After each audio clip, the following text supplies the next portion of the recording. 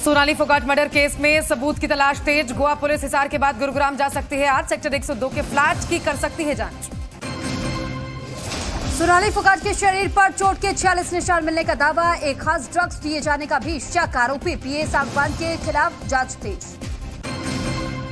सोनाली फोगाट मौत मामले में सीबीआई जाँच की मांग तेज। सुप्रीम कोर्ट के वकील विनीत जिंदल ने सीजीआई को लिखी चिट्ठी। सीबीआई जाँच की मांग। किडनैपिंग केस में आरोपी बिहार के मंत्री कार्तिकेय कुमार ने दिया इस्तीफा। सीएम नीतीश ने इस्तीफा किया मंजूर। कल ही कानून मंत्रालय से हटा करके दिया गया था उद्योग मंत्रालय। कार्तिक कुमार के इस्तीफे को लेकर सुशील मोदी का नीतीश पर तंज ट्वीट कर लिखा पहले पहला विकेट गिरा अभी और गिरेंगे। बिहार के पूर्व मंत्री कार्तिक कुमार के पेशे आज किडनैपिंग केस में आरोपी है कार्तिक कुमार। कल ही दिया है मंत्री पद से इस्तीफा। झारखंड में सियासी संकट के बीच आज सोरेन कैबिनेट की अहम बैठक। झारखंड के पाँच मंत्री रायपुर से पहुँचे रांची। सोरेन कैबिनेट की अहम बैठक। बैठक में विधानसभा का विशेष सत्र बुलाने पर होगी चर्चा।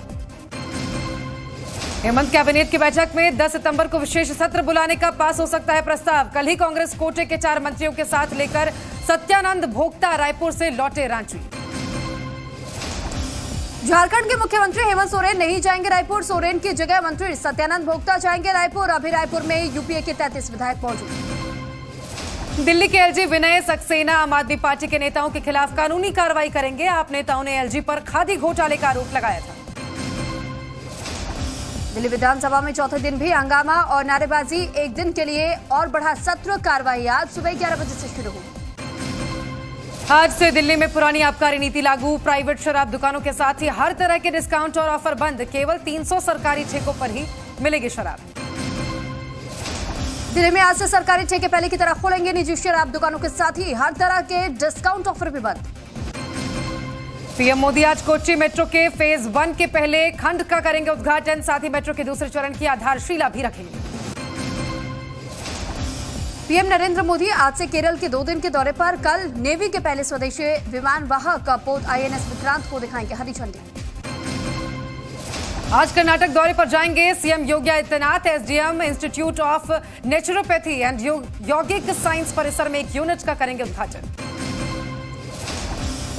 यूपी में बड़ा प्रशासनिक फेरबदल 16 आईएएस अधिकारियों के तबादले संजय प्रसाद को सूचना और जनसंपर्क की ज़िम्मेदारी। यूपी में अगले 24 घंटे के अंदर 32 जिलों में अलर्ट। मौसम विभाग ने जताई भारी बारिश की संभावना।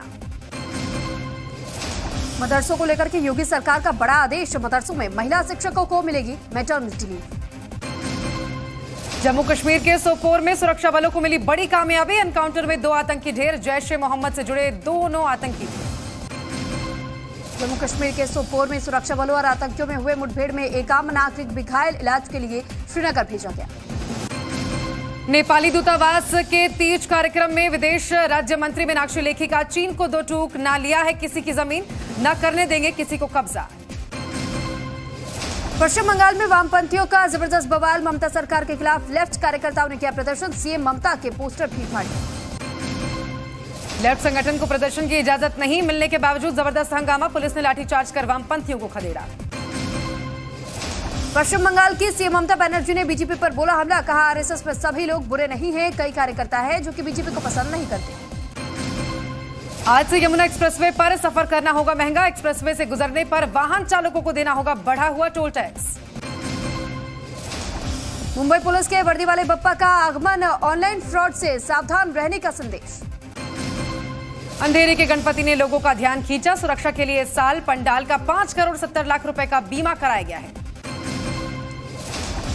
मुंबई के देखिए जीएसबी वडाला गणपति की भव्यता मूर्ति को छियासठ किलो सोने और करीब दो किलो चांदी से सजाया गया।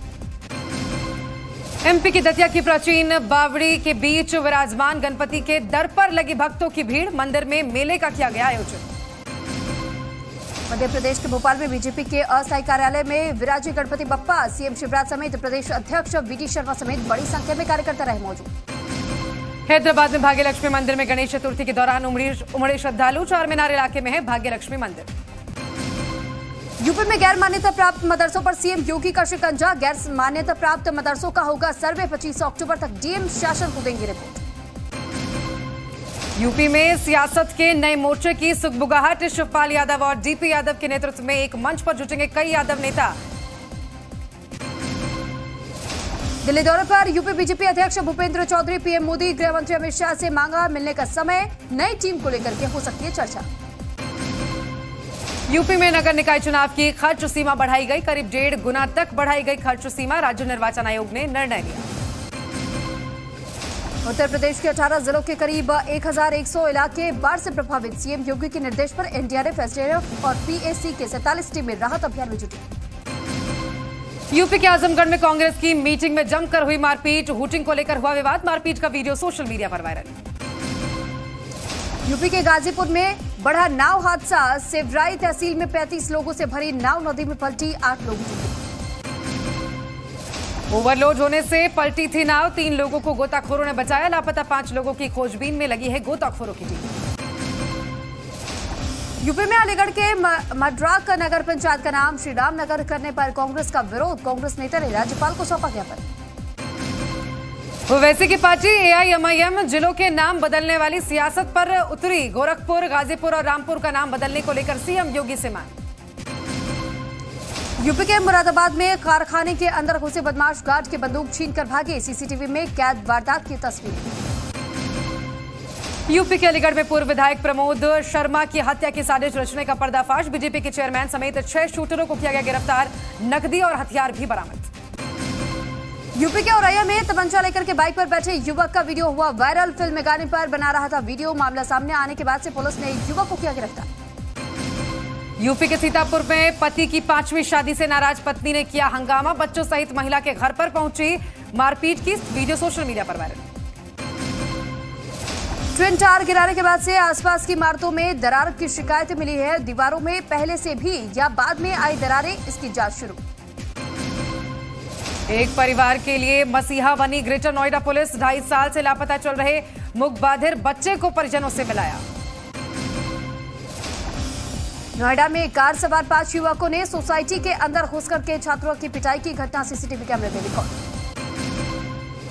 नोएडा सेक्टर 20 से दो गांजा तस्कर गिरफ़्तार। पुलिस ने दो किलो 600 ग्राम गांजा और एक बाइक भी बरामद की है। नोएडा पुलिस ने घरों में चोरी करने वाले गैंग का पर्दाफाश किया है। सेक्टर इक्यावन चौकी प्रभारी विपिन गौतम और उनकी टीम ने जल विहार गोल चक्कर के पास से गिरोह के दो बदमाशों को पकड़ लिया। आज बालाघाट जिला प्रशासन से योजनाओं की स्टेटस रिपोर्ट लेंगे। एमपी के सीएम शिवराज। सुबह 10 बजे वीडियो कॉन्फ्रेंसिंग के ज़रिए होगी बैठक।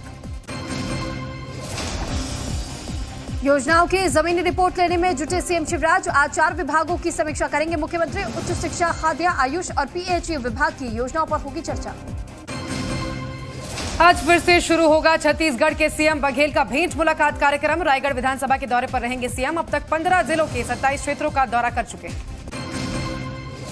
छत्तीसगढ़ में हड़ताली कर्मचारियों को सीएम बघेल ने दो, आ, दिया दो दिनों का अल्टीमेटम। हड़ताल से वापस नहीं लौटे तो होगी कार्रवाई। काम कर लौटने पर ही होगी बात।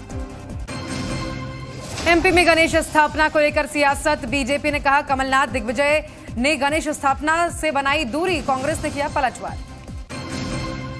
रतलाम में निजी स्कूल के टॉयलेट में सीसीटीवी मिलने पर राष्ट्रीय बाल आयोग सख्त। एसपी को दिए एफआईआर दर्ज करने के निर्देश। सात दिन के भीतर मांगा जवाब।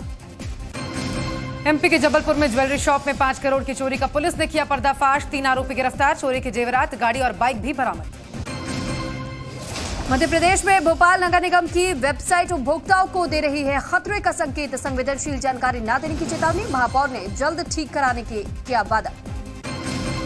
एमपी के इंदौर में आम लोगों पर महँगाई की मार, खुले दूध के दाम, चार रुपए प्रति लीटर बढ़े। इंदौर दूध संघ ने बढ़ाए दूध के दाम। मध्य प्रदेश के रीवा में इलाज के दौरान गर्भवती महिला की मौत, परिजनों ने अस्पताल पर लगाया लापरवाही करने का आरोप, गुस्साए परिजनों ने किया चक्का जाम। एमपी के बैतूल में दो पेड़ों के बीच फंसा तेंदुआ, कई घंटों तक फंसा रहा तेंदुआ कड़ी मशक्कत के बाद वन विभाग की टीम ने रेस्क्यू किया। बिहार के गया में पत्रकार के घर दिन दहाड़े डकैती कर फरार हो गए, बदमाश और हथियार के नोक पर बंधक बनाकर के लाखों की ज्वेलरी और नकदी उड़ाई। बिहार के आरा में अपराधियों ने दंपति पर फायरिंग की। दोनों हुए घायल। पत्नी ने पति पर लगाया फायरिंग करने का आरोप। पुलिस जाँच में जुटी है।